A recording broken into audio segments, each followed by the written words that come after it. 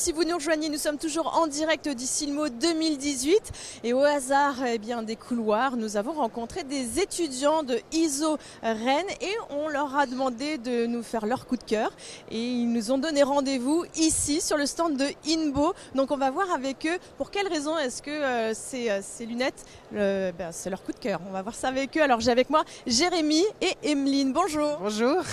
Bonjour. Alors là, vous portez donc des lunettes Inbo. C'est ça, tout à fait. Ouais. Alors parlez-nous un petit peu. Vous avez choisi de venir ici et de mettre en lumière un peu ces, lunettes et cette marque. Alors pour quelle raison? Euh, Alors moi, tout de suite, qui m'a interpellé, c'était le côté de la matière, le côté bois.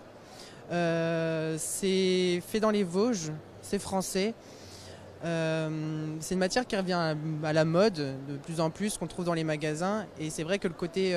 Enfin, moi, j'ai une préférence en tout cas pour le côté solaire en, bois. Et vous, Emeline, pour quelle raison Quelle paire de lunettes vous portez?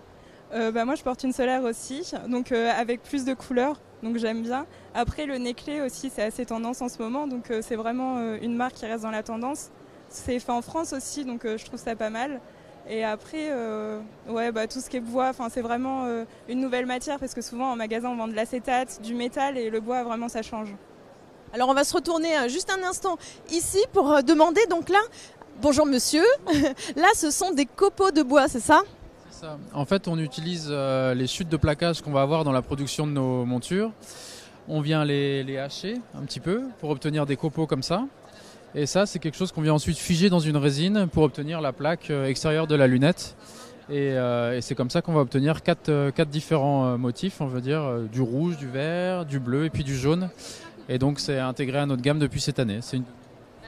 Et ça fait combien de temps que Inbo existe Ça fait 5 ans qu'on a créé la marque donc dans les Vosges, à Épinal.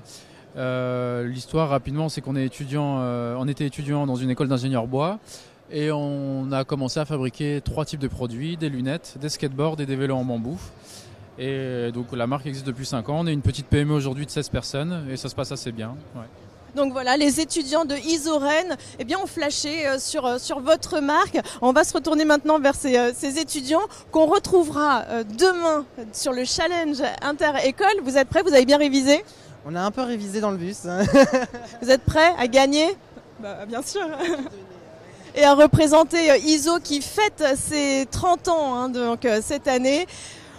On ira voir dès demain et en attendant nous aussi on va aller faire continuer notre petit tour et si vous aussi vous avez envie de nous montrer vos coups de cœur du Silmo 2018 eh bien rejoignez-nous.